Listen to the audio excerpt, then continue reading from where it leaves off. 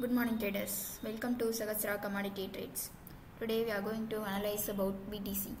BTC yesterday high 9886 and low 9490 and close 9779. Those want to buy, buy above 9880. Expected first target will be 9980 and the expected second target will be 10080. Those who want to sell, sell below 9490. Expected first target will be 9390 and the expected second target will be 9290. Next we will see the resistance and support level of Bitcoin. Resistance level is 9805 and support level is 8553. Thank you.